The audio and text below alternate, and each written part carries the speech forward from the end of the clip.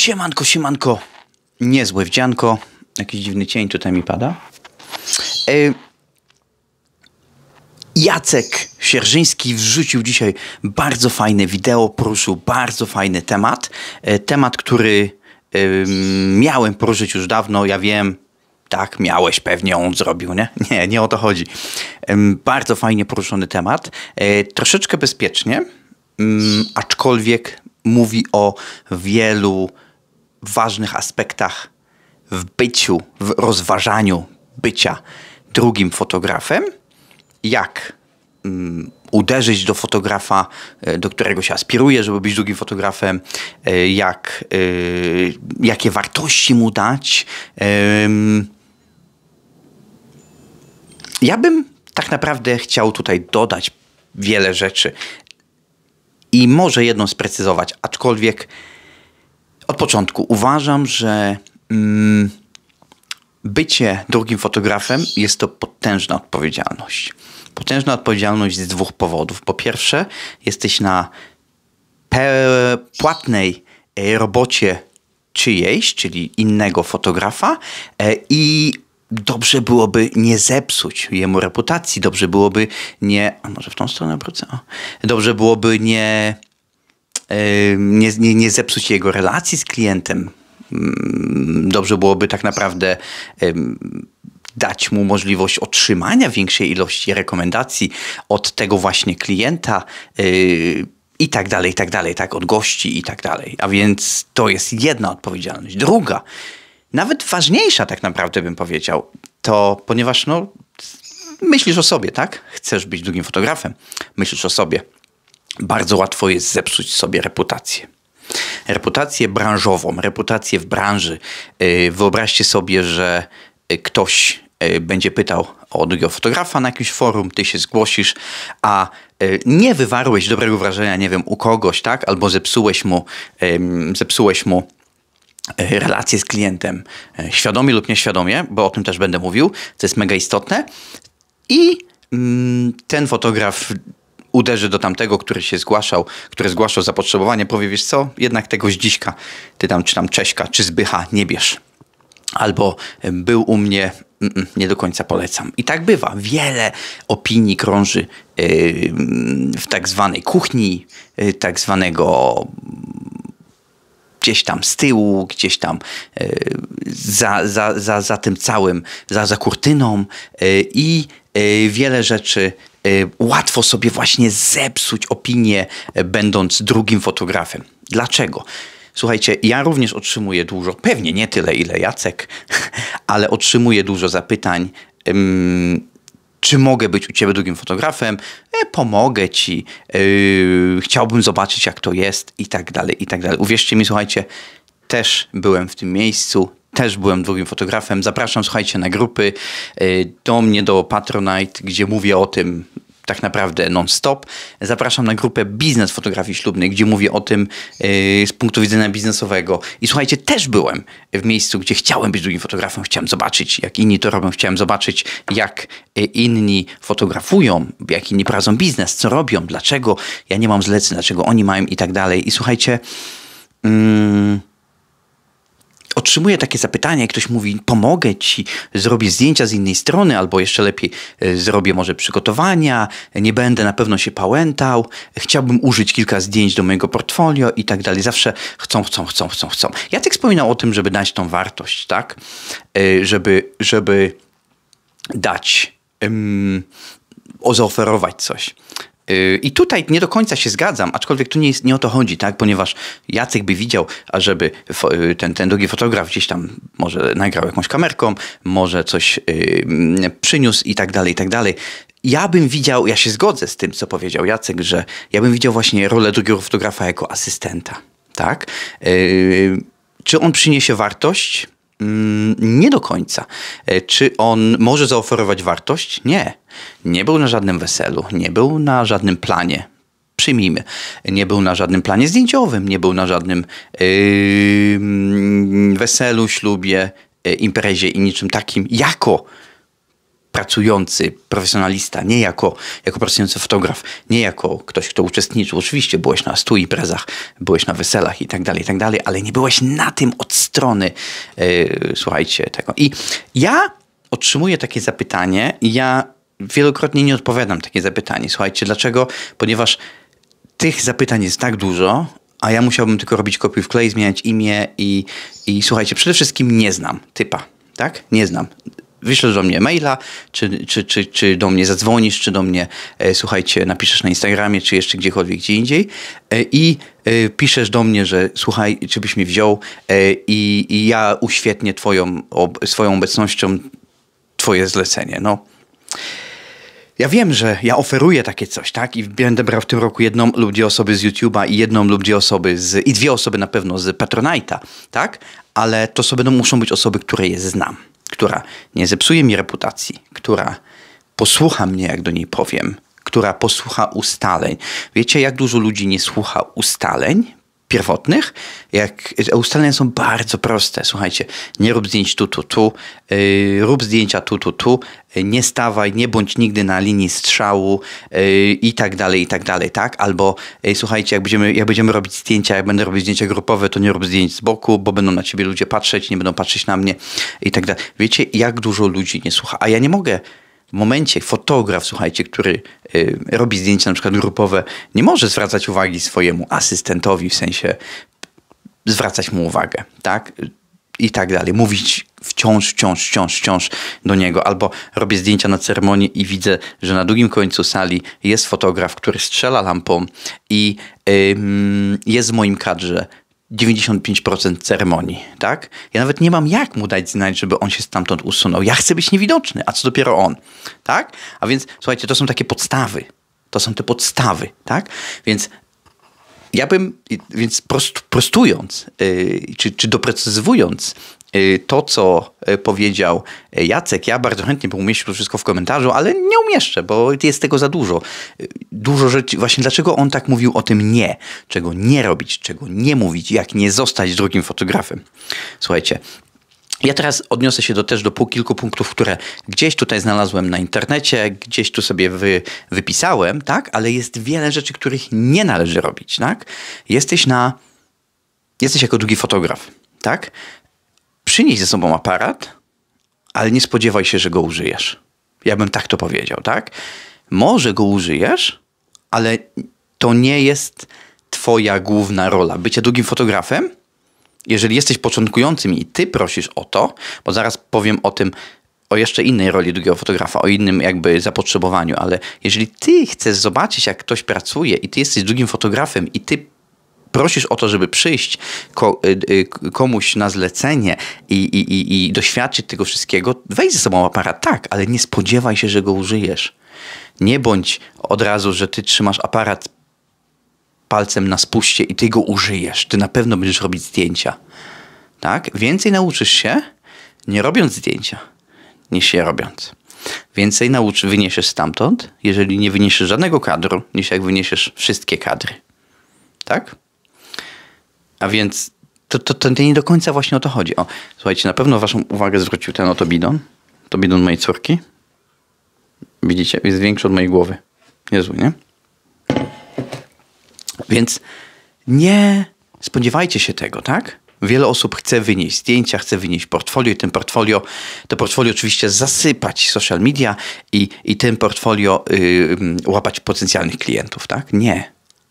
Tak? Nie. Nie o to tutaj chodzi. E, a więc nie spodziewaj się, spodziewaj się, że zrobisz, zobaczysz przede wszystkim, usłyszysz. To jest najważniejsze. Usłyszysz, co fotograf mówi, jak utrzymuje relacje, jak kontynuuje relacje, jak pielęgnuje relacje z klientem, z którym już yy, jest. Tak? A i do tego jeszcze chciałem powiedzieć, nie zepsuj sobie reputacji. Dlaczego? Już wam mówię.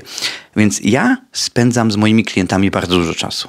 Ale wiecie, z kim spędzam jeszcze więcej czasu? Z partnerami, z fotografami i wideografami ślubnymi. Dlaczego? Bo to oni y, są jakby tym, kto mi napędza klientów. To oni będą mieli pusty, y, zajęty termin i chcą komuś oddać zlecenie. To oni są w grupach referencyjnych, to oni są w różnych, na różnych e, rodzaju szkoleniach, to oni będą mnie prosić o pomoc i dadzą mi tą pomoc, kiedy ja będę jej potrzebował lub też nie. Tak? Nie możesz sobie zepsuć to nie jest tak, że ty jesteś sklepem, zepsujesz sobie reputację wobec innych sklepów, będziesz obniżał cenę albo będziesz robił nie wiadomo co jeszcze innego, jakieś nielegalne praktyki stosował, ale to jest nieistotne, bo klientów będziesz miał. Tak? Uwierz mi, zepsujesz sobie reputację w branży, będzie ci bardzo ciężko na zdobywanie klientów. A więc przejdę teraz do internetu, zobaczę, jak być super ekstra drugim fotografem, bo tu są też kolejne punkty, które, do których bym się odniósł jako uzupełnienie e, wideo Jacka.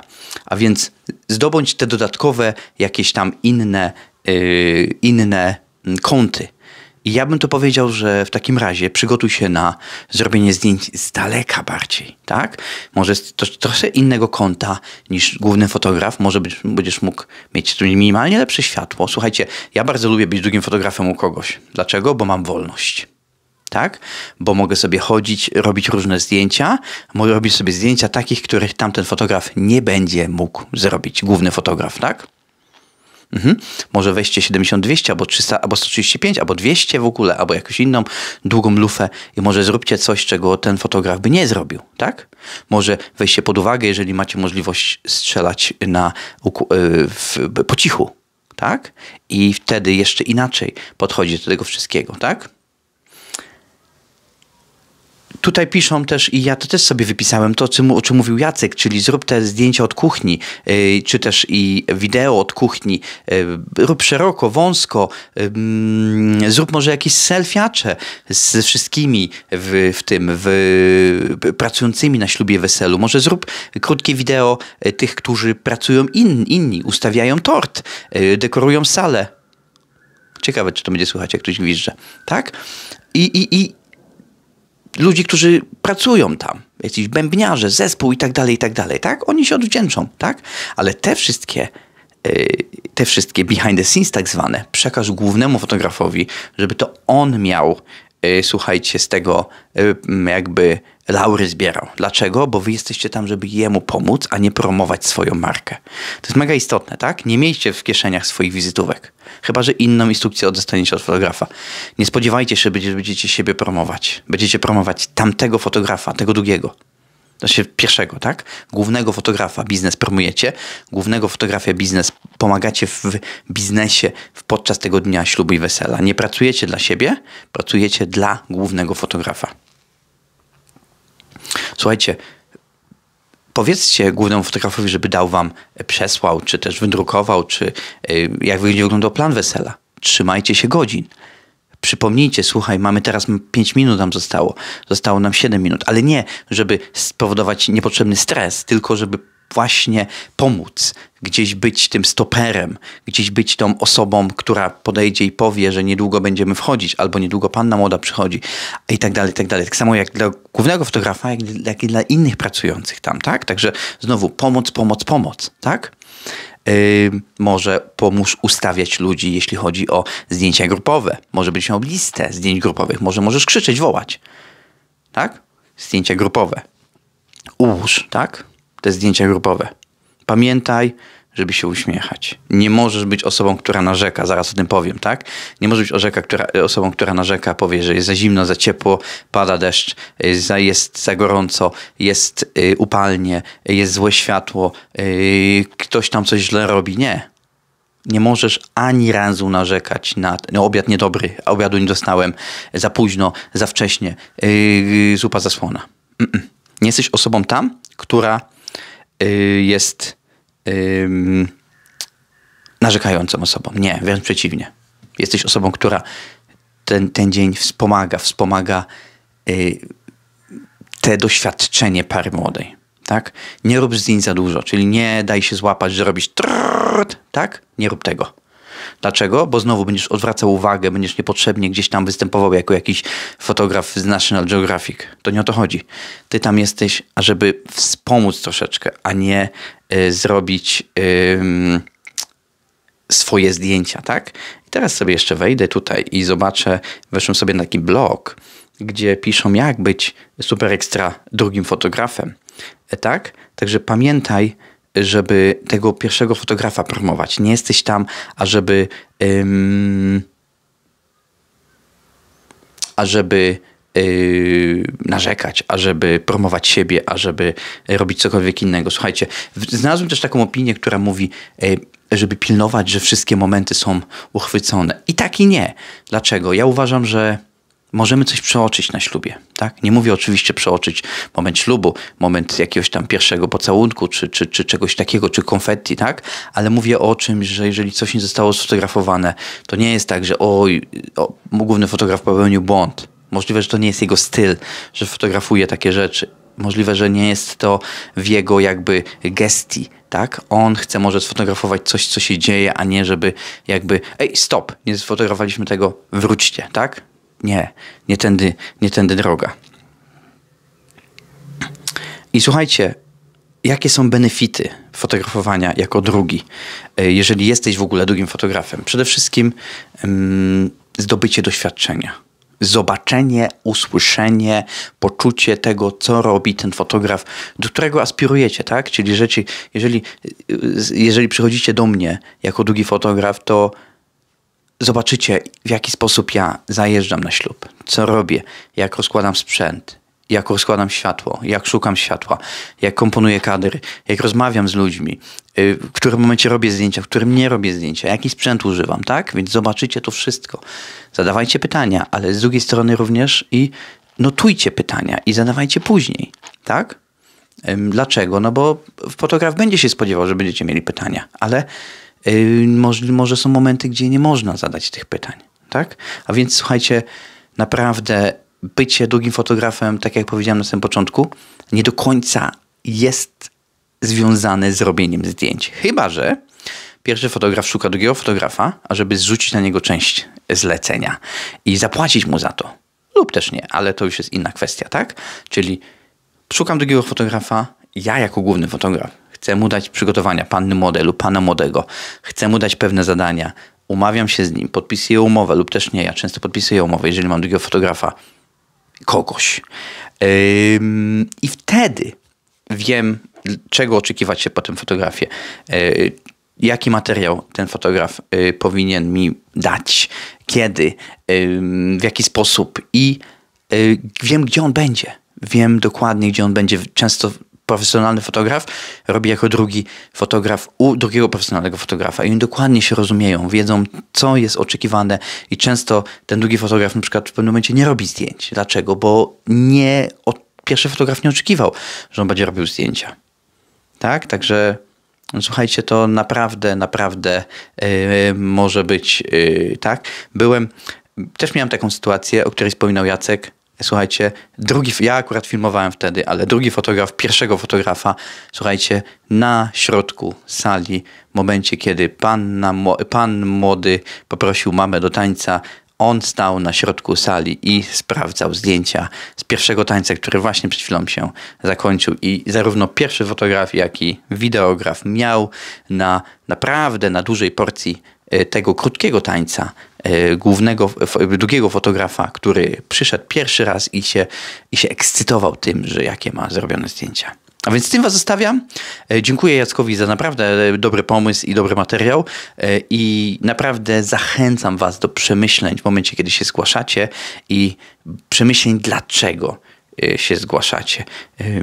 Co chcecie i co tak naprawdę chcecie, tak? Usunąć, u, u, u, ugrać, będąc jako drugi fotograf. Nie do końca zawsze jest y, to portfolio. Portfolio można tworzyć w różny sposób. Ja mówiłem o tym wielokrotnie, mówię o tym wielokrotnie i ja nawet uważałbym, żeby portfolio nie do końca tworzyć jako drugi fotograf.